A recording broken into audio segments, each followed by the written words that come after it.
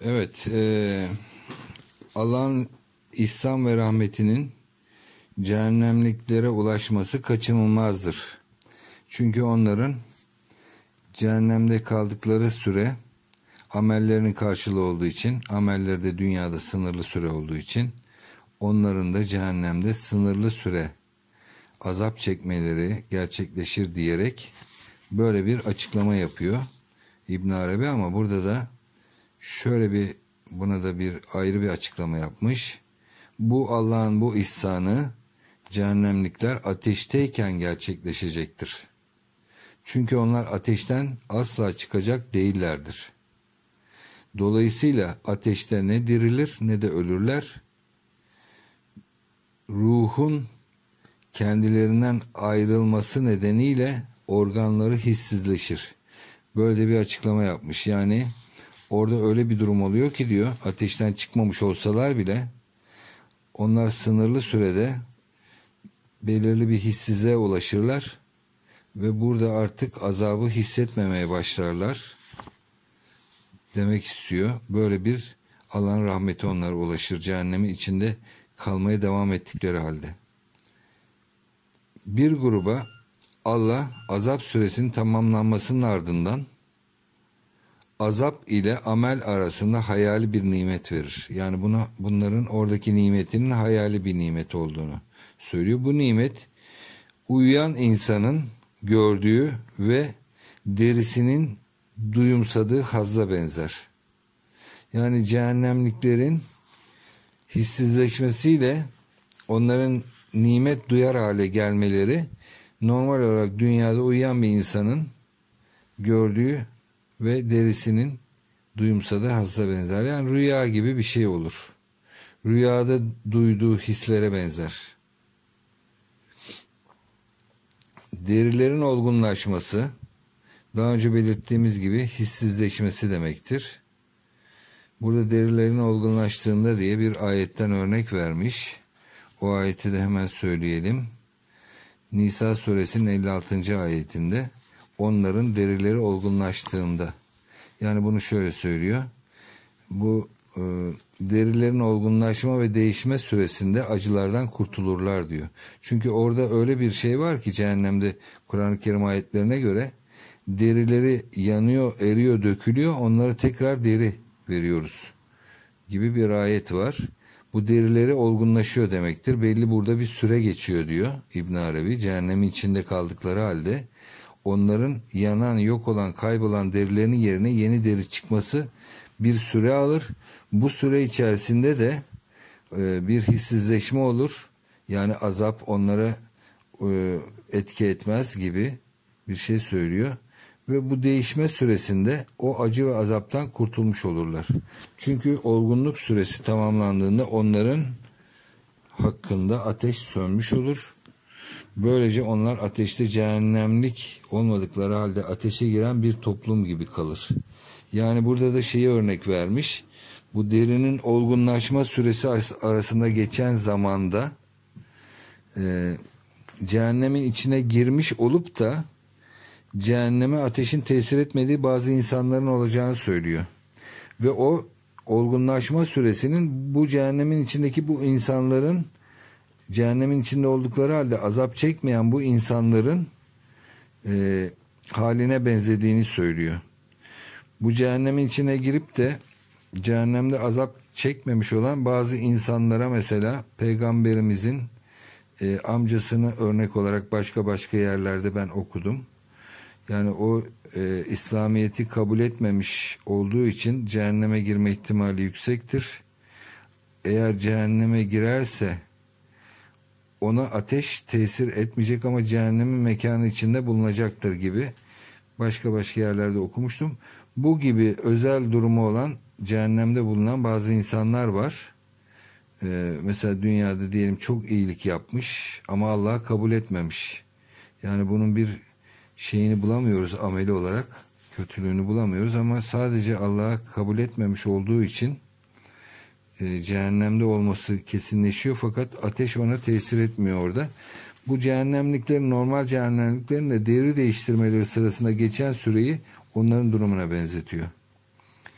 E, Allah onları bir şekilde öldürür böylece ateşin bedenlerinde yaptığı şeyi hissetmezler. Yani ölü gibi hissiz bir şekilde kalırlar demek istiyor. Buradan cehennemin kapılarına geçmiş. Ee, cehennemin kapılarına gelince Allah cehennemliklerin özelliklerinden bir kısmını belirtmiştir. Fakat zikredilenler bu dört gruptaki kimselerin özellikleridir. Cehenneme girip şefaat veya ilahi inayet sayesinde oradan çıkanlara gelince. Şimdi bu da e, bizi çok yakından ilgilendiriyor. Bunlar tabi genellikle Müslümanlar. Yani şefaat veya ilahi inayet sayesinde cehennemden çıkanlar var. Bir müddet kaldıktan sonra. Cehennemin kapıları Cahim kapısı, Sakar kapısı, Sair kapısı, Hutame kapısı, Lazza kapısı, Hamiye kapısı ve Haviye kapısıdır. Kapılar arkalarına bulunup kendisi adına hazırlandıkları şeylerin veya kimselerin özellikleriyle isimlendirilmiştir. Oraya girenler söz gelişi Allah'ın Lazza kapısı hakkında dediği gibi bazı özelliklerle isimlendirilmiştir. Allah Lazza kapısını yüz çevirip gerisin geriye dönen ve mal toplayan ve barındıranları çağırdığını söyler. Bunda neye dayandırmış? Ayete dayandırmış. Bu ayeti de söyleyelim. Me'ariç suresinin 17 ve 18. ayetinde bu Lazza kapısının arkasında cehennemin içinde bulunanların durumu anlatılıyor. Yüz çevirip gerisin geriye dönen ve mal toplayıp barındıranların bu Lazza kapısının içinde cehennemin içinde kilitli kalacağını söylüyor İbn Arabi. Sakar kapısı hakkında ise şöyle söylüyor. Onlara sizi Sakar'a sevk eden sebep nedir diye sorulur. Bu da e, nerede geçiyor? Müddessir suresinde olması lazım. Yanlış olmasın söyleyeyim 51 bakalım. El Müddessir 42 ve 46 ayetleri arasında Sakar'dan bahsediliyor.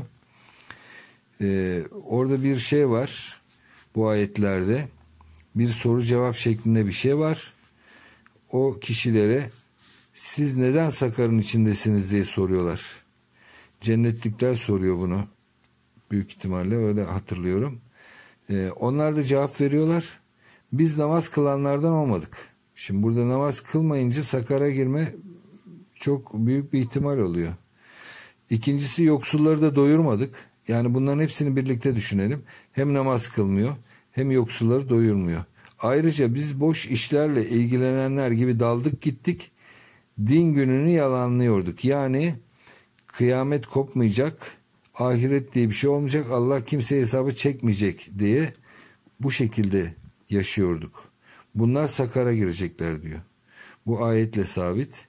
Müddessir suresindeki e, kaçıncı ayet demiştik? 42'den 46. ayete kadar. Bunu da örnek veriyor. Sakar kapısının arkasında kalacak olanlara. Cahim kapısı var bir de. Bu cahim kapısının arkasında kıyamet gününü yalanlayanlar vardır. Bunlar hakkında ise Allah şöyle der. Burada da yine bir ayet var. O günü sadece taşkın ve günahkarlar yalanlarlar. Bu da Mutaffifin 12. ayet. Böylece o kapının ardında bulunanları günah ve taşkınlık özelliğiyle nitelemiştir. Sonra onlar hakkında şöyle demiştir. Onlar cahime atılır. Sonra onlara yalanladığınız şey buydu denilir. Bu da bir ayettir e, Rahman suresi 19 ve 20. ayet olması lazım. 55 numara bakalım yok. Ali İmran suresi 18. ayet. Neymiş? Yalanladığınız şey buydu denilir. Yani orada gerçeği görürler diyor. Benzer şeyler hutame, sair, hutame veya diğer Kur'an ve sünnette geçen cehennem kapıları içinde söylenilir diyor. Cehennem kapılarında bu şekilde açıklamış. Şimdi bu cehennemle ilgili baya bir açıklama yaptı. Burada da son bölümde de şöyle bir şey söylüyor. Ee, okuyucunun hayrete düşeceği şeyleri zikrettik. Bu cehennemle ilgili konularda. Bunlar başından itibaren bu bölüme delil olarak getirdiğimiz ayetlerdir. Yani ayetlerle ben bunları söyledim aslında diyor. Ben bunları o ayetlerden tek tek çıkartamayacak olan insanlar için birleştirerek anlattım. Bu böyle bir senaryo çıktı ve bu çok da hayret edilecek bir durum oldu diyor. Misal olarak Allah'ın iblise zikredilen şeyleri emretmesini verebiliriz. Yani bu benim söylediklerim size acayip geliyorsa aslında da çok daha acayip şeyler var Kur'an-ı Kerim ayetlerinde diyor. Ee, iblise zikredilen şeyleri emretmesini verebiliriz.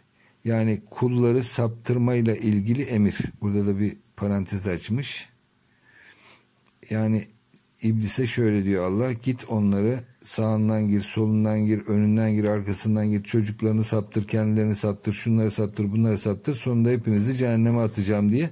Bu aslında bir emirdir diyor iblise ama böyle bir emri nasıl verebilir? Ters bir durum gibi görünüyor. O ters bir durum gibi görünse bile açık ayetlerde olduğu için bu cehennemde benim zikrettiğim şeyler de parça parça ayetlerden birleştirdiğim şeyler aslında gerçek bir durumdur. Fakat size bu da ters ve acayip bir şeymiş gibi gelebilir diyor. Yani neden bahsetmişti? İşte cehennemde de bir belirli bir rahmet vardır. Diğer konularda aslında rahmetin gereğidir falan diye böyle ters gelmesin bunlar size diyor. Kesin ayetlerle diyor yerlerini söyledim hepsini belirttim diyor. Ee, bu gibi uyarıları eğer öğrenirsen bedbahlara ve cehennemliklere tahsis edilmiş pek çok ilahi bilgi öğrenmiş olursun. Ee, Allah hakkı söyler ve doğru yola ulaştırır diyerek bu cehennem bahsini bitirmiş oluyor. Evet İbn Arabi'nin Fütuhat-ı Mekkiye kitabındaki cehennem anlatımlarından devam ediyoruz. Burada cehennemdeki mertebelerden bahsediyor. Şöyle devam ediyor. Allah başarısızlığa uğrattığı kullarını iki kısma ayırmıştır. Birinci kısım kendilerinden meydana gelen günahları zarar vermeyenlerdir. Yani bu öyle bir şey oluyor ki Allah bazı kullarına e, başarısızlığa uğradığı halde dünya hayatında ve günahlara girdiği halde onlardan zarar görmüyor. Bu kullar, bu çeşit kullar. Onu da şöyle söylüyor. Ee, bir ayet burada zikretmiş. Ayette Allah size katından mağfiret ve ihsan taahhüt eder. Ayetin meali bu. Bakara suresindeki 268. ayet. Bunu delil olarak göstermiş bu tip kullara. Dolayısıyla ateş onlara temas etmez. Bunun nedeni Allah'ın onların tövbesini kabul etmesi ve yüce topluluğun bağışlanmaları için bu gruba dua etmesidir. Yani bu meleği aladaki büyük topluluğun yani meleklerin diyelim de ayrıca bu kişilerin ceza görmemesi için hata yapmış oldukları halde bunlar tövbe ediyorlar, hataların farkındalar. Fakat tekrar tekrar da hataya düşebiliyorlar. Fakat hatanın hata olduğunu biliyorlar. Yani benim yaptığım ya neymiş böyle yasak mı olurmuş? Bu da mı günahmış falan demeden evet ben günah işledim ama bundan da kaçınamıyorum. Tekrar tekrar düşüyorum.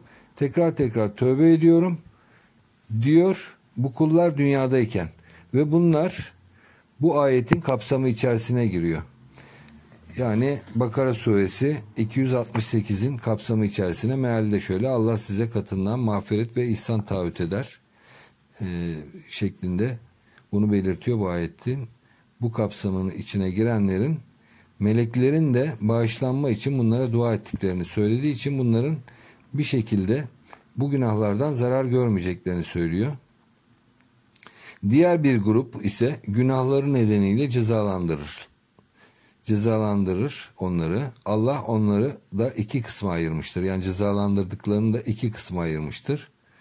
Bir kısmını şefaatçilerin şefaatiyle. Bu kısım büyük günah işleyen müminlerdir. Yani bunlar da orada cezaya uğramış görünüyorlar fakat şefaate uğrayabilirlerse mesela peygamberimiz bunlara derse ki bu benim ümmetimdendir. Bunun için ben kurtulmasını istiyorum. Allah'ım lütfen bu kulumu bağışla, bu e, ümmetimi bağışla derse bunların da bir şekilde e, inayetle kurtulabileceğini, azap göremeyeceğini ama aslında bunlara azabın kesinleşmiş olduğu halde şefaatle kurtulabildiklerini söylüyor. Bu azaba uğramış olan grubun birinci kısmı için. Ve e, diğerleri de teorik düşünceyle tevhidi benimseyen kimselerdendir diyor. Yani diğer grup da teorik düşünceyle tevhidi benimseyen kimselerdendir. Yani bunlar da araştırıyorlar, bakıyorlar. Ee, aslında evet Allah var, mutlaka olması lazım. Bu kadar bu şey kendiliğinden olmuş olamaz. Bu dünyadaki bütün bu sistemler, gördüğümüz her şey olamaz diyorlar. Buna kanaat getiriyorlar ve ayrıca şunu da söylüyorlar. Evet Allah peygamber vasıtasıyla da bize kendini tanıtmıştır ve bilgi göndermiştir. Yani Kur'an-ı Kerim'i peygamberi de kabul ediyorlar. Ve bunları da e, bu sebeple aslında gazaba uğramış, kesinleşmiş yani devamlı bunu söylemelerine rağmen günaha düşmüşler. Hata işlemiş olsalar bile cehennemden çıkartır diyor. Diğer kısmını ise Allah cehennemde bırakır. Yani ikiye ayırmıştı. Şefaat e, ikiye ayırmıştı. Birinci kısım zaten bir ayetin kapsamı içine girdiği için onlar ateş temas etmez. Onlar kurtuluyorlar. Çünkü bunlar tövbe ediyorlar. Farkındalar. Diğer kısımsa gazaba uğramış olduğu halde onu da ikiye ayırmıştı. Birinci kısım ya şefaatle ya da teorik olarak Allah'ın varlığını, peygamberin geldiğini ve kitap getirdiğini kabul eden kimseler olduğu halde bunlar çok büyük günahlara girmişler. Fakat bunu kabul ettikleri için bunlar da ya şefaatle ya da e, diğer şeyle yani Allah'ın varlığını teorik olarak benimsedikleri için kurtuluyorlar. Diğer kısımlar ise cehennemde kalıyor. Cehennemde kalanlar gerçek olarak cehennemin ehli olan kimselerdir. Yani orayı sahiplenen kimselerdir. Allah kendileri hakkında ey günahkarlar bugün diğerlerinden ayrılın diye onlara hitap ediyor. Bu da Yasin suresinde 59. ayet. Kur'an-ı Kerim'den örnek vererek bu kendi bu açıklamalarını devam ettiriyor. Bu günahkarlar bu kastedilen kimseler o yerin yani cehennemin sakin olmayı hak edenlerdir. Ayrılın ifadesi başka bir ifadeyle yani oradan şefaat ve inayetle ahiretteki diğer yer olan cenneti çıkan insanların boşalttıkları yerleri dolduracaksınız.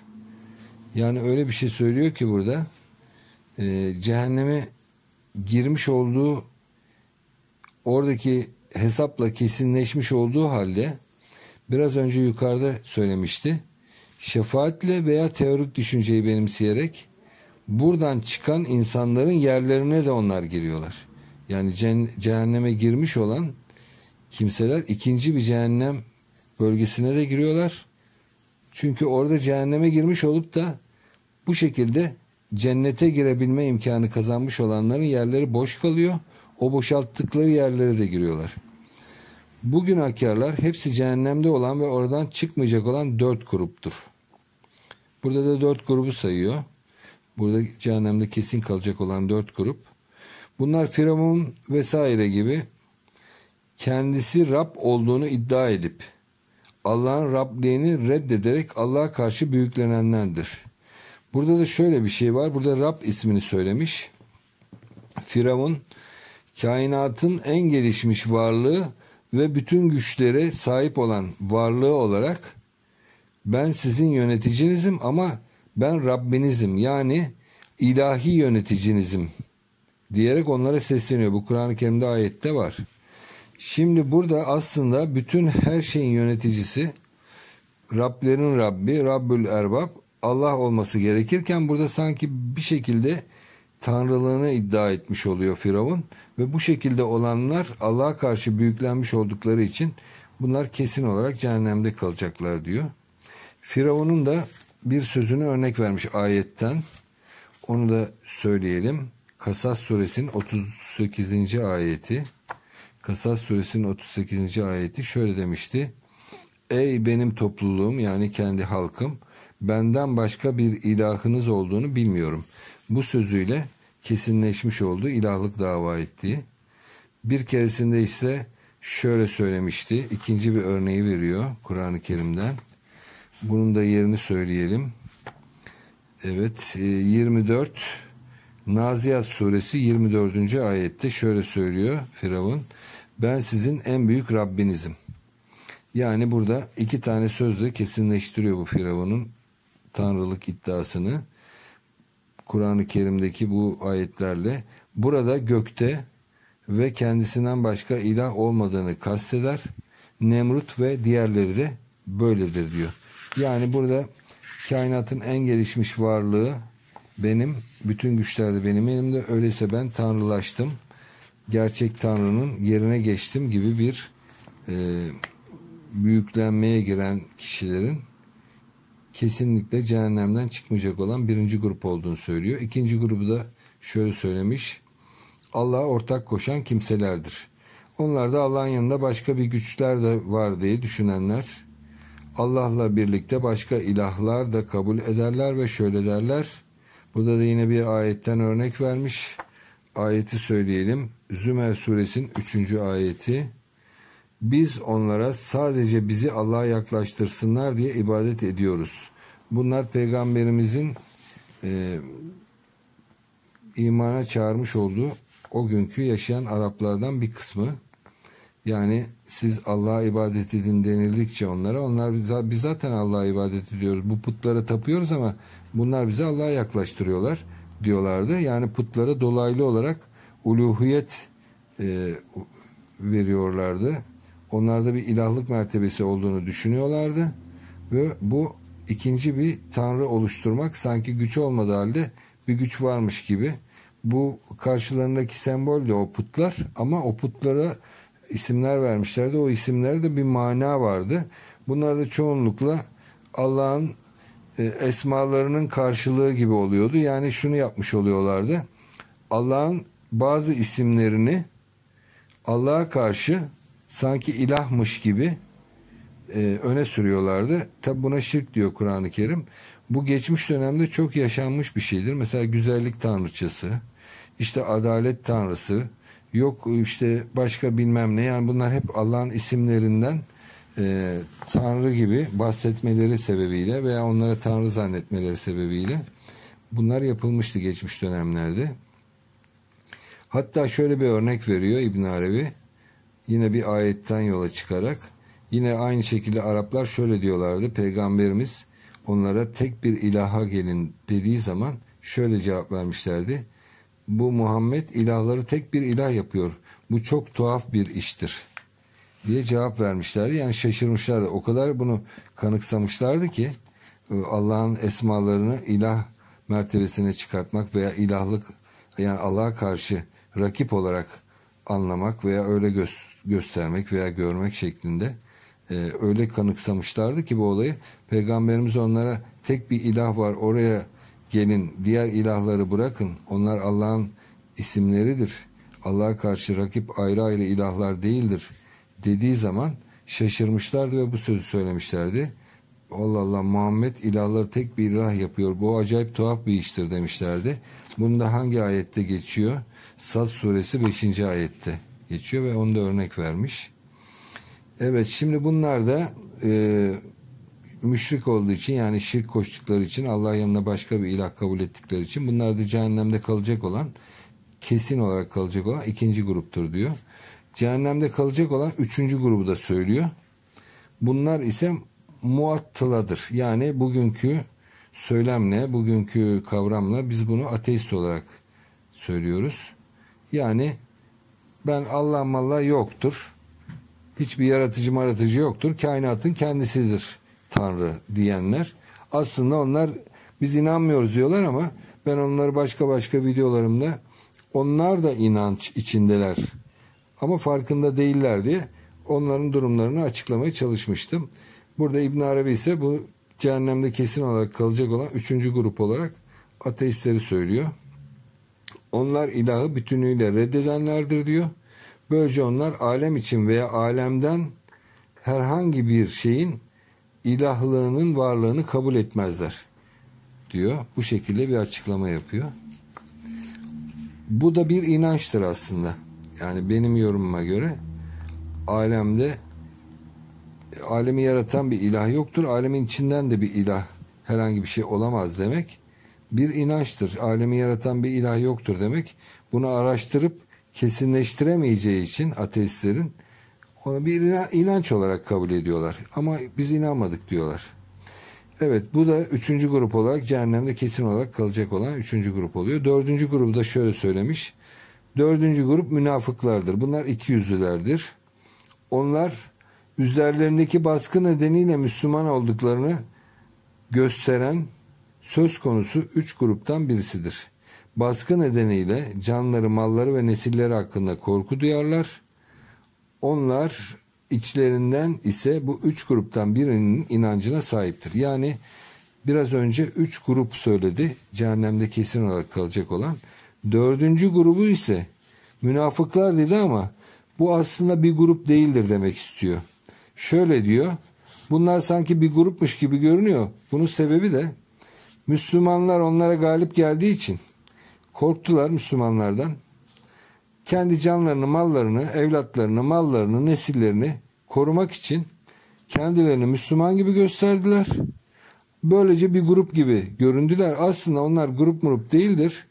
Diğer üç gruptan herhangi birisinin görüşüne onlar dahildirler demek istiyor. Yani ya ateisttirler ya Allah'a ortak koşarlar ya da kendilerinin Rab olduğunu, olduğunu iddia ederler. Bu üç grubun arasında dağılmıştır bunlar ama bunlar Müslümanların içinde yaşadıkları için kendilerini Müslüman gibi gösteriyor. Bunun sebebi de can mal korkusudur. Devam ediyor. Bu dört grup, dört sınıf cehennemlik olan ve oradan çıkmayacak olan cin ve insan topluluklarıdır. Şimdi burada da cinleri de işin içine katmış. Tabi doğrudur. Ee, cinlerin de o zaman biz aynı bu gruplardan olduğunu anlıyoruz. Yani cinlerden de Rablik iddia eden, ateist olan ve münafık olan e, gruplar var. Allah'a ortak koşan gruplar var demektir. Ki bu cin suresinde zaten e, açıklanıyor bir ayette. Bunların sayısının dört olmasının nedeni yani cehennemde kalacak kesin kalacak olanların sayısının dört olmasının nedeni ayette iblisin önümüzden, ardımızdan, sağımızdan ve solumuzdan bize geleceğinin bildirilmesidir. İblis ortak koşana önünden gelir. Ateiste arkadan, kibirliye sağından, iki yüzlüye ise solundan gelir. Sol en zayıf yöndür. Çünkü münafık bu grupların en zayıfıdır. Yani burada bir tasnif yapmış ve bunun sebeplerini söylemiş. Ondan sonra da e, Allah'ın cehennem hakkında ki bir e, ayetteki bir sözünü söylemiş. Cehennem hakkında Allah şöyle der diyor. Bu da hangi ayet bakalım? Hicr suresinin 44. ayetinde şöyle meali. Onun yedi kapısı vardır. Her bir kapının ise bölünmüş bir parçası vardır. Bu da ne demek? Bunlar dört mertebedir diyor. Cehennemlikler için her bir kapıdan taksim edilmiş bir parça ceza vardır. Onlar azapların menzilleridir. İblisin kendisinden kullara geldiği yönler olan dört ile yedi kapı çarpıldığında çarpım sonucu 28 menzil ortaya çıkar. Bunun aynısının cennette de olduğunu söylüyor.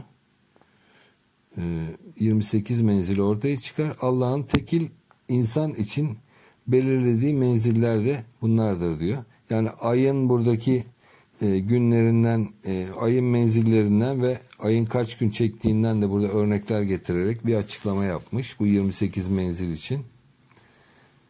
E, 28 harf var diyor. Yine aynı şekilde Arapçada 28 harf var. Buradan da 28'i bir şey yapmış, kanıtlamış. Ee, cehennemliklerin menzilleri 28 tanedir diyor. Başından dibine kadar cehennemin bütünü ise 100 basamaktır diyor. Bunlar mutluların girdiği cennet derecelerinin benzerleridir. Yani aynısı cennette de var, aynısı cehennemde de var. Yani ne demek? 28 bölge var. 7 kapı var. 28 o 7 kapının 28 bölgesi var. Şimdi bunları aslında böyle bir kapı var oradan giriyorsun oradan giriyorsun öyle anlamamak lazım. Biraz önce anlattığım gibi bu 7 kapı dediğim 7 tür aynı şeyin algılanması var. İç içe 7 tür. Ve o 7 kapının 28 e, menzili var. 28 menzilin de 100 tane basamağı var her menzilin. Yani bunlar hep böyle bölüm bölüm oralardaki hep farklı farklı azap çeşitleri. Aynı şey cennette de var. Orada da nimet çeşitleri var. Şimdi o zaman şöyle diyor. E, cennette de var diyor.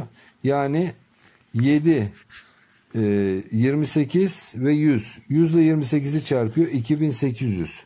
Şöyle söylüyor. Basamakların her birisinin 28 menzili vardır. 28 100 ile çarpıldığında sonuç 2800 menzil eder. Dolayısıyla bunlar 2800 menzildir.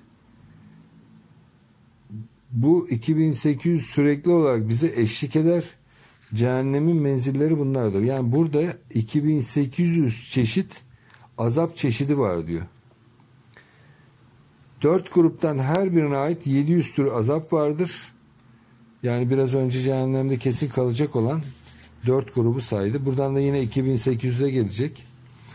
Ve onlar dört gruptur. Her birine de 700 tür azap vardır. Yani işte ateiste 700, efendim kendisini Rab olarak ilan edene 700, e, Allah'a ortak koşana 700 ve münafıklara 700. Ne oldu? 4 kere de 28 toplam 2800 tür azap vardır. Yani hem kapılara göre hem de oraya girmiş olan gruplara göre azabın menzillerini burada paylaştırılmasını bize anlatmaya çalışmış. Nitekim diyor cennetlikler içinde o kadar sevap vardır. Bu durum onların verdiği sadakalarda da açıklanır. Mesela burada da bir ayeti yine örnek vermiş. Her basamağında yüz tohum bulunan yedi veren başak gibi. Böyle bir ayet var. Onda ayete bakalım hangisi olduğunu. Bakara suresinin 261. ayetinde böyle bir açıklama var. Allah Allah'ın bereketini anlatmak için. Yani her e, basamağında 100 tohum bulunan 7 veren başak gibi. Toplamı 700 olur diyor. Cennetlikler de aynı şekilde. Burada cehennemi anlatıyor aslında ama e, bir benzerlik yakaladığı için cennetlikte de dört grup olduğunu söylüyor. Mesela buradaki dört grubu da şöyle söylemiş. Birincisi şeriat getiren peygamberler. İkincisi önceki şeriata uyan peygamberler. Dördüncüsü veliler yani Allah dostları ve e, üçüncüsü veliler Allah dostları ve dördüncüsü müminler. Bu dört gruptan sadaka veren herkes için amelinin 700 katı ödül vardır diyor. Yani sen normal müminsen yapmış olduğunun 700 katı sana nimet geliyor ve ödüle kavuşuyorsun. Peygamber de aynı şekilde e, şeriat getiren peygamber veya şeriata uyan peygamber veya veli aynı şekilde. Bunların da dört grup cennetlik olduğunu söylüyor. Ve bunların da aynı şekilde e, 700'er kat ödülleri olduğunu söylüyor. Cennette nimet kapısı, cehennemde ise azap kapısı vardır. Cennetlikler ve cehennemlikler arasında ortaklık gerçekleşir. Bu durumda yani böyle bir durumda ortaklık yani bu menzillenme ve kademelenme durumunda böyle bir ortaklık vardır diyor. Bu durum cennet ve cehennemin derece ve basamaklarının sayısındaki eşitlikten kaynaklanır sadece diyor. Başka bir benzerlik ve ortaklık yok. Sadece bir kademelenmede ortaklık var. Onların arasında başka bir nedenle de farklılık gerçekleşir. Yani diğer yönlerden farklıdır. Bu yönden benzerdir bu iki ortam diyor. Bu ise cehennemde ilahi ihtisas basamaklarının bulunmayışı nedeniyle cennetten farklılığıdır. Yani şimdi cenneti anlatırken biraz sonra cenneti anlatmaya başlayacak. Cennette öyle özel bir durum var. İhtisas cennetleri var. Yani ihtisas demek hususi yani eskiden hususi taksiler vardı. E şimdiki taksilere taksi deniyor ama onlara eskiden hususi taksi deniyordu. Hususi özel demek. Özel bir durum var. Yani ihtisas o yapmış olduğu işte uzmanlaşmış ve onun karşılığını oradan alıyor demektir. Cennette böyle bir uzmanlaşma durumu var. Bir ihtisas. O uzmanlığa göre farklı bir cennet veriliyor kişiye ve o farklıdır diyor. Cehennemden böyle bir farkı vardır diyor. Farkı nerede? Onu açıklamış. Allah'tan gelen özel bir tahsis ettiği bir azap yoktur diyor. Yani ayrıca özel bir azabı yoktur diyor. O kişinin kendi şeyine göre azabı ona göre belirlenir.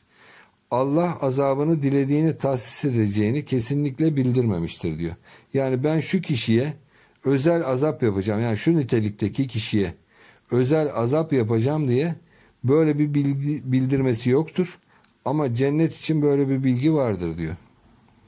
Buna karşı rahmetini ve ihsanını dilediğine tahsis edeceğini bildirmiştir. Yani özel kişilere belirtmiştir, seçmiştir veya dilediğine vereceğini söylemiştir. Yani ben dilediğime vereceğim. Seç, seçmemin özelliklerini bildirmesem bile böyle bir şey yapacağım dediğini söylemiştir diyor. Öyleyse nimetlerde cennet cehennemliklerin azabının ölçütünden farklıdır. Yani nimetlerin ölçütü cehennemdeki azabın ölçütünden farklı. Cehennemdeki kademelenme ile cennetteki kademelenme aynıdır ama nimetlerdeki ölçütlerde veya azaptaki ölçütlerde farklılık vardır. Şöyle açıklamaya devam ediyor bu durumu da. Cehennemlikler sadece amelleri karşılığında azap görür. Cennetlikler ise amelleri karşılığında olduğu gibi ihtisas cennetlerinde amelleri karşılığı olmaksızın da nimet görürler. Şimdi bak bu durumda çok acayip bir şey. Burada da Allah'ın rahmetinin e, gazabına, azabına üstün geldiğini anlıyoruz. Bu yolda bir hadis-i şerif de var. Bir daha söyleyelim bunu. Cehennemlikler sadece amelleri karşılığında azap görür. Cennetlikler ise amelleri karşılığında olduğu gibi ihtisas cennetlerinde amelleri olmaksızın da nimet görürler. Devam etmiş. Burada bir ara bir açıklama cennete ait bir açıklama yapmış. Çünkü burada cennetle cehennemi karşılaştırırken farklılıklar ortaya çıktı. Onu da açıklamıştı. Burada da o farklılıkların durumuna biraz değiniyor. Mutluların üç cenneti vardır. Ameller cenneti, ihtisas cenneti yani özel bir cennet ve miras cenneti. İnsan veya cinlerden her şahsın ateşte veya cennette bir yeri vardır. Bu da çok acayip bir şey. Yani kimin nereye gideceği belli olmadığı için tabi Allah biliyor ama biz belli bizim için belli değil ama e, şöyle yapmış Allah bu duruma da bir cebir bir zorlama olmadığını bildirmek için her kişi için hem cennette hem cehennemde yerini hazırlamış. Yani insanlardan ve cinlerden mevcut sorumlu varlıklardan kim dünyaya geliyor ise cennette de cehennemde de yeri hazır. Allah biliyor nereye gideceğini fakat biz bilmiyoruz. Ve bizim bu bilmememizi de biz şöyle itiraz edebilirdik.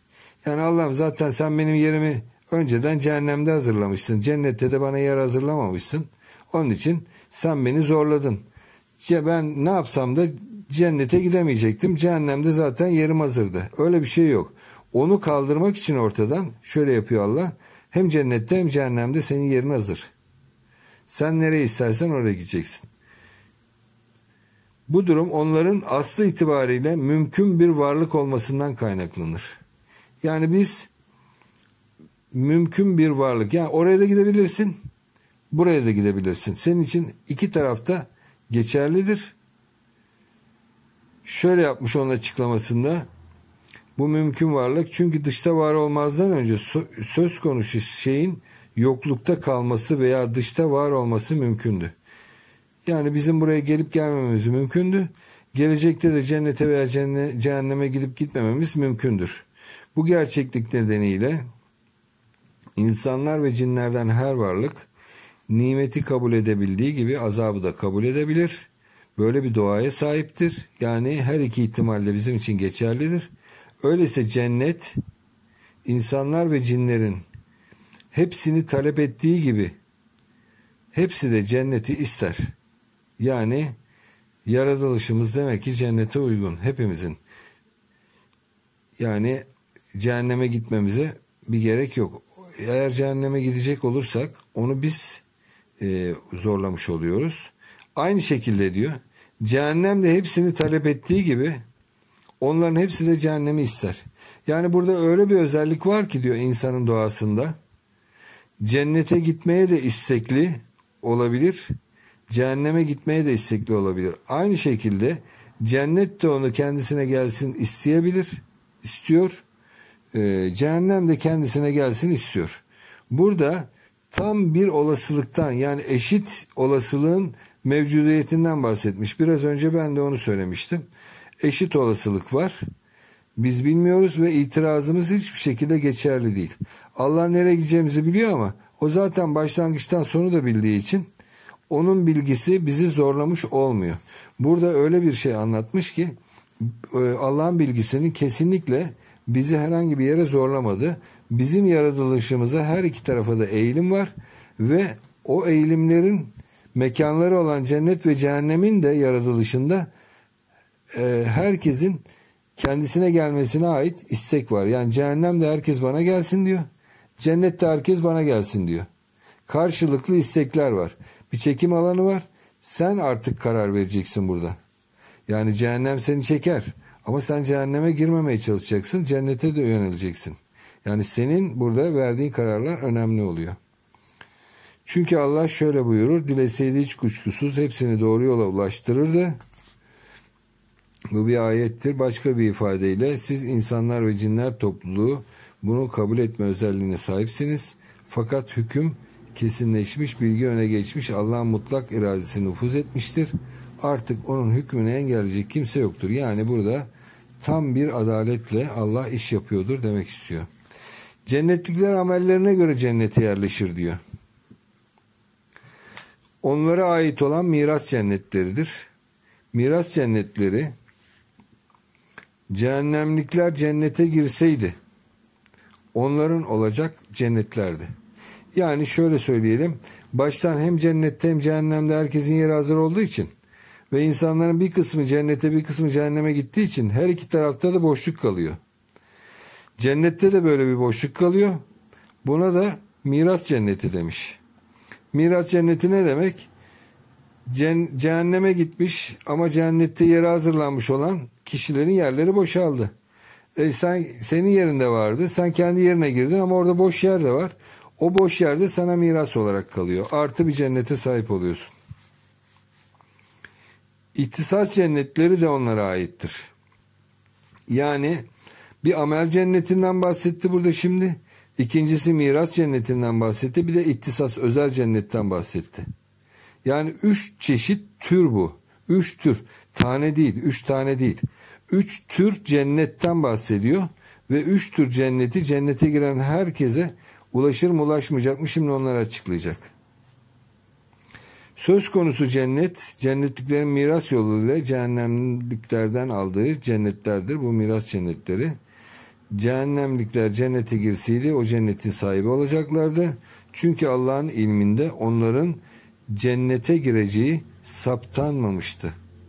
Burada da acayip bir şey söylemiş. Allah bildiği halde bunu zorlamamıştı diyor. Yani Allah ilminde onların cennete gireceğini kesin hüküm vermemişti.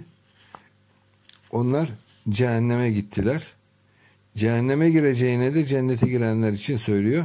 Onlara da kesin hüküm vermemişti. Yani onları zorlamamıştı manası var burada. Öyle anlamamız lazım. Cehennemlikler hakkında ise cehenneme girselerdi kendilerine ait olacak mekanları müminlerden miras yoluyla alacaklarını söylememiştir. Cehennemde yalnız böyle bir şey yok. yani cehennemlikler için cehenneme girmiş olsalardı kendilerine ait olacak mekanları müminlerden miras yoluyla alacaklarını söylemişler. Yani cennette miras cennetleri var ama cehennemde cehenneme giren kişiler için hem kendi cehennemi hem de ayrıca miras olacak alacağı ayrı bir cehennem yok veya bir azap çeşidi yok demek istiyor. Yani orada da kısıtlama yapmış, e, cennette rahmetini fazlalaştırmış, cehennemde de rahmet olarak azabı kısıtlayarak böyle bir e, sistem kurmuş diyor Allah. Bu fark genel ihsanıyla birlikte yine aynı şekilde benim yorumuma burada destekleyici bir sözü var. Bu fark genel ihsanıyla birlikte ilahi rahmetin gazabını geçmiş olmasından kaynaklanır. Öyleyse cehennemliklerden ateşe yerleşen herkes kendi amelleri nedeniyle yerleşir. Bu nedenle orada boş mekanlar kalır. Bunlar cennetlikler cehenneme girseydi dolduracakları mekanlardı işte. Aynı şeyi söylüyor. Yani cehennemde boş mekanlar kalabiliyor. Çünkü oradaki hazırlanmış yerimiz var ama cennete gittik diyelim. Orada bizim yerimiz boş kalıyor ama onları diğer cennet, cehennemliklere vermiyor fazladan. Orada çünkü bir rahmet var. Orada rahmet gereği gazabı sınırlamış. Allah ise o mekanları dolduracak kimseleri öyle bir mizaçla yaratır ki o mizaçla cennete girselerdi azap duyarlardı. Yani burada cehennemde kalan e, insanlar aslında normal olarak cennete zaten uygun değil yapıları. Öyle bir mizaçla olmuş ki onlar o mizaçla eğer cennete girmiş olsalardı zaten cennette azap duyarlardı. Cehennemde onlar aslında bir şekilde yine kendi yapılarına uygun bir ortam buluyorlar demek istiyor. evet. Allah her birini cenneti ve cehennemi yaratıklarıyla dolduracağını taahhüt etmiştir. Allah cehennemi kendileriyle dolduracak kimselere azap etmeyi ve onların nimet göreceklerini şart koşmamıştır. Burada da değişik bir şey var, açıklaması var. Cennet kuşkusuz cehennemden daha geniştir. Çünkü cennetin genişliği göklerin ve yerin genişliği kadardır. Yani burada aslında o oradaki yani ahiret hayatındaki kainatın tamamının cennet olduğunu, cehennemin ise bunun içinde daha kısıtlı bir bölge olduğunu burada anlıyoruz bu açıklamasından. Ee, şöyle bir benzetme yapmış. Cehenneme kıyasla cennet dairenin çevresi gibidir. Yani bir bir merkez noktasına bir pergenin ayağını koyarsanız o diğer ayakla bir daire çizerseniz o dairenin çevresi cennet olur diyor. Ee, dairenin çevresi yanlış anlamayalım. Cehenneme kıyasla cennet içerdiği şeylere göre dairenin çevresi gibidir. Evet dairenin çevresi ne kadar en geniş alandır. Onun içindeki bütün alanlar ondan daha dardır. Yani en geniş alan cennettir. Bu da şu biraz önce benim söylediğim gibi oradaki kainatın tamamının cennet olduğunu cehennemin bunun içinde kısıtlı bir bölüm olduğunu söylüyor. Burada cehennemi de e, açıklamış. Cehennemin genişliği ise sabit gezegenler feleğinin dairesinin iki çapa ayıran çizgi kadardır. Bu darlık nerede o genişlik nerede? Yani burada şöyle bir şey bizim zodyak dediğimiz takvim yani e, sabit e, gezegenler feleği zodyan güneş sistemin içindeki kısmı. Yani gezegenler güneşin etrafında dönen gezegenler kainatın içinde ne kadar alan kaplıyorsa yani güneş sisteminin tamamı diyelim Oran kuşağına kadar diyelim. Yani güneş sistemi bugün bilim adamları güneş sistemin çevresinde küre şeklinde e, kuyruklu yıldızlar bölgesi olduğunu söylüyorlar. Bunun adını Oran kuşağı diye koyuyorlar. Bu güneş sisteminin son sınırı oluyor. Burasının kainatın içindeki durumunu düşünürsek çok kısıtlı bir bölge. kainatın tamamını çemberin en dış çeperi olarak düşünün ve onun içindeki güneş sisteminin tamamının bölgesini düşünün. Ne kadar kısıtlı bir bölge. Cehennem yine e, benim açıklamam gibi oluyor. O ahiret kainatının ki orası sonsuz. Yani açık bir kainat. Ahiret kainatının tamamının cennet, onun içinde kısıtlı bir bölgenin ise cehennem olduğunu buradan anlıyoruz. Bu genişliğin nedeni Hakk'ın yani Allah'ın amelleri olmaksızın kullarına tahsis ettiği yani cennetin genişliğinin sebebini burada söylüyor. Amelleri olmaksızın herhangi bir çalışması yok o konuda. Ama Allah kullarına tahsis ettiği ihtisas cennetleri sebebiyledir diyor. İhtisas cenneti şu demek. Ne kadar özellik var ise o kişiye ait. Şimdi onun örneğini verecek burada. Ee, o kişinin ne kadar latifesi özelliği var ise, yeteneği var ise onların her biri başkasında olmayan özelliklerdir. Yani duyguları işte e, çok duygulanıyoruz. Fakir birisini görüp duygulanıyor, üzülüyor, ağlıyor mesela. Bu bir inceliktir insanda. Ondan sonra denize bakıyor, güneşe bakıyor. Oradaki güzelliği görüyor. Mesela peygamberimiz sahabeleriyle yürürken e, köpek ölüsü görünce onun dişleri ne kadar güzel demiş. Mesela burada sanki çirkinlik gibi görünen şeyin içinde güzelliği görmek. Bunlar insanlarda değişik değişik olur. Kimisi şiire meyilli olur, kimisi musikiye meyilli olur. Kimisi bestecidir, kimisi resim yapar. Güzel sanatlardan anlar.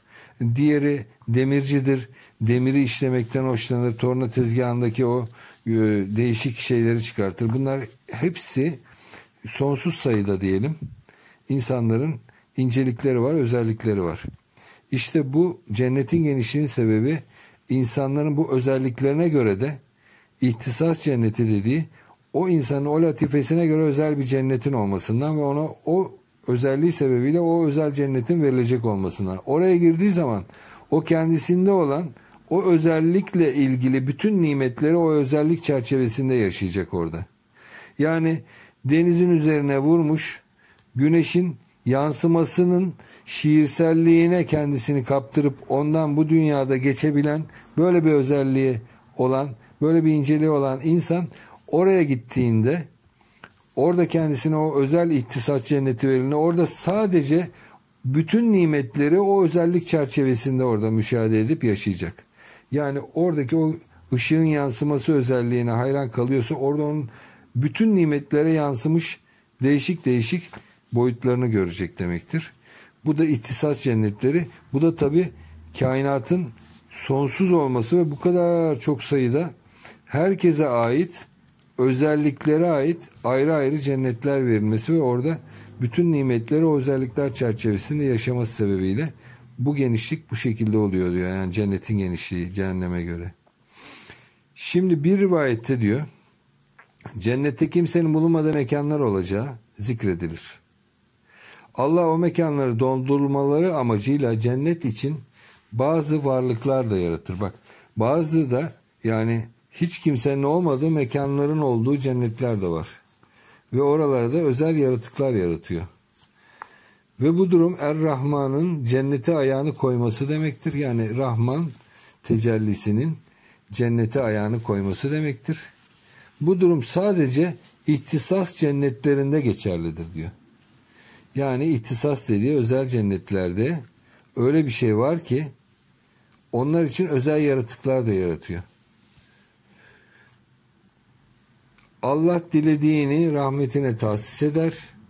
Cehennemlikleri ateşe sadece onların amellerinden dolayı yerleştirmesi de Allah'ın cömertliğinin bir parçasıdır. Yani cehennemlikler sadece yaptığı şeylerin karşılığını görüyor. Ama cennettekiler bak yapmadığı şeylerin de karşılığını buluyorlar.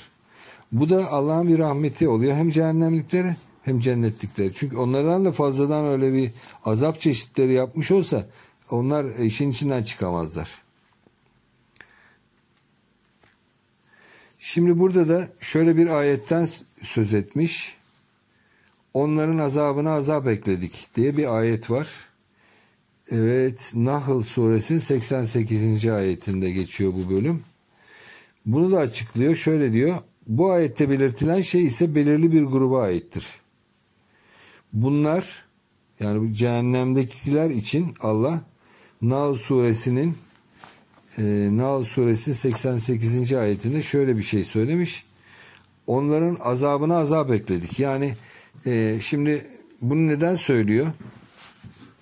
Cennetliklerin fazladan yapmadıkları ameller karşılığında nimetlere ulaşması ve cennetlik e, cehennemliklerin ise sadece yaptıkları işlerin karşılığını alacağını söylediği için burada itiraz gelebilir diye bu ayeti de gündeme almış. Bu ayette de cehennemlikler için onların azabına azap ekledik diye bir bölüm geçtiği için bunun da açıklamasını yapıyor. Bu ayette belirtilen şey ise belirli bir gruba aittir diyor. Bu söz konusu kimseler saptırıcı önderlerdir. Bak şimdi burada da çok önemli bir noktaya geldik. Eğer kendimizden başkalarını etkileme gücümüz varsa bunu da kendi inancımızda eğer sapkınlık varsa farkında olarak veya olmayarak çoğu zaman bunu farkında olarak yapıyorlar da ama farkında olmayarak da olabilir. Bu ne olabilir? Bizim ailemiz mesela onun önderiyiz biz. Yani çocuklarımız aşağı yukarı bizim fikirlerimizi önce öğrenmeye çalışıyorlar ve etkileniyorlar. Eşimiz, çocuklarımız, akrabalarımız bu durumda saptırıcı önderlerden birisi olma ihtimalimiz var. İkincisi etkilediğimiz insanlar, e, kitap yazan insanlar, televizyonda konuşan insanlar şimdi bu YouTube olayları çıktı, internet çıktı. Buralara yazı yazanlar, burada video yapanlar bunların hepsi bak bu sorumluluğun içine giriyor.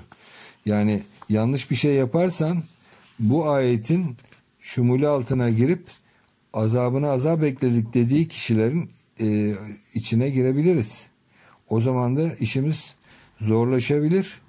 Buna dikkat etmek lazım. Toplumu etkileme gücü olan herkes toplumun önderi statüsündedir. Ne kadar az kişiyi veya çok kişi etkilediği pek önemli olmayabilir. Onun için burada özel bir azaba artı bir azaba uğramamak için buna çok dikkat etmek lazım. Şöyle bir ayetten de bahsediyor yine burada İbn Arabi. Allah şöyle buyurur diyor. Kendi günahlarıyla birlikte onların günahlarını da yüklenirler. Yani senin yüzünden birisi yanlış bir yola girmişse sen zaten yanlış yoldasın. Burada kendi günahını da alıyorsun. Bir de o kişinin günahını da alıyorsun ama ondan da günah eksilmiyor. Yani o kişi yine kendi günahını çekiyor. Sana da onun günahından artı bir değer geliyor. Bu hangi ayet? Buna da bakalım. Ankebut suresinin 13. ayeti kendi günahlarıyla birlikte diğerlerinin günahlarında yüklenirler. Kimler bunlar? Topluma önderlik eden kişiler, yön verme kapasitesine olan kişiler.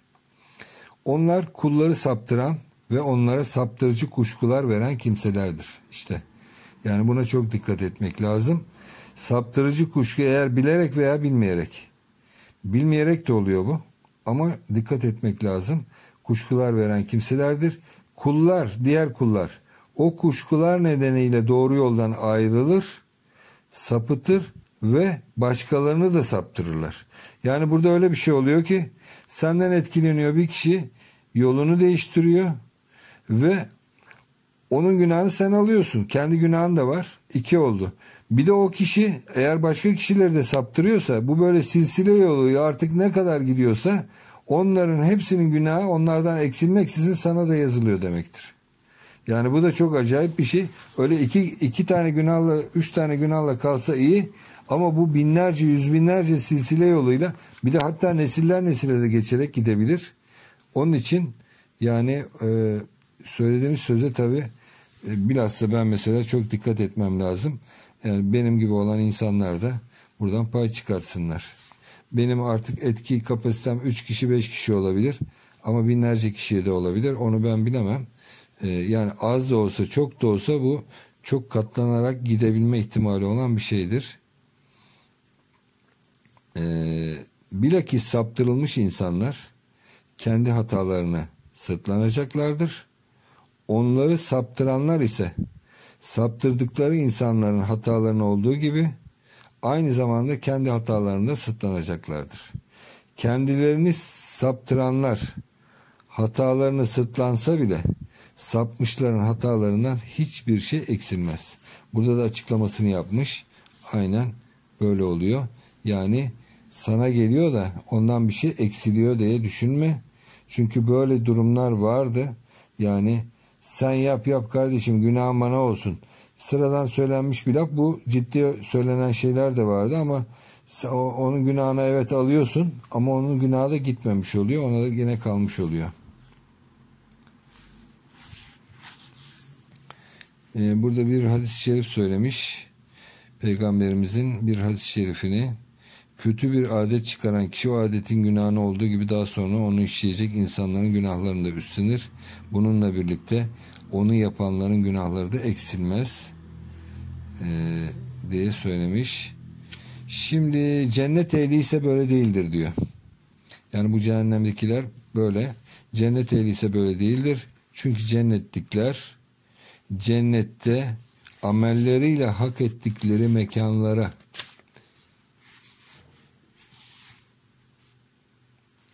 ki bu durum cehennemliklerin amelleri karşılığında cehenneme yerleşmelerine benzer yani birebir cehennemlikler neydi? Yaptığı işin karşılığı olan neyse ceza ona giriyordu. Cennetliklerde de aynı bu durum vardır diyor.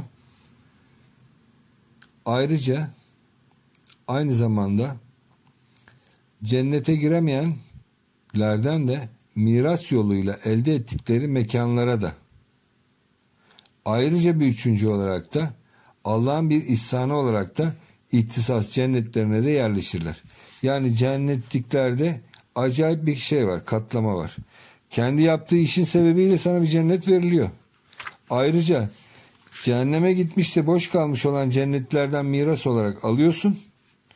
Ayrıca bir de Allah'ın lütfu olarak özel ihtisas cennetine giriyorsun ki bu ihtisas cennetleri de çok sayıda sende ne nitelikler ne özellikler varsa onların her biri kadar da sana ihtisas cenneti veriliyor. Evet cehennemlikler için böyle bir durum söz konusu değildir diyor. Şimdi amellerinin karşılığı olan sürenin bitiminden sonra bu da Allah'ın e, rahmet isminin burada cehennemdeki bir tecellisini anlatıyor. Amellerinin karşılığı olan sürelerin bitiminden sonra cehennemlikler ateşteyken Allah'ın ihsan ve rahmetinin ulaşması kaçınılmazdır. Bu da çok acayip bir şey. Bunu tabi birçok İslami bilim adamları bu konuda bu açıklamasına yani İbn Arabi'nin şu andaki yaptığım açıklamasına biraz kuşkuyla yaklaşmışlardır. Burada söyleyeceği şey e, cehennemde olup da dünyada yapmış olduğu amellerin karşılığı olarak orada bir azaba girmiş olan kişi o amellerinin tabi dünyada sınırlı olduğu için amelleri oradaki bu çekeceği cezanın da sınırlı olması gerektiğini söylüyor ve bunun biteceğini söylüyor.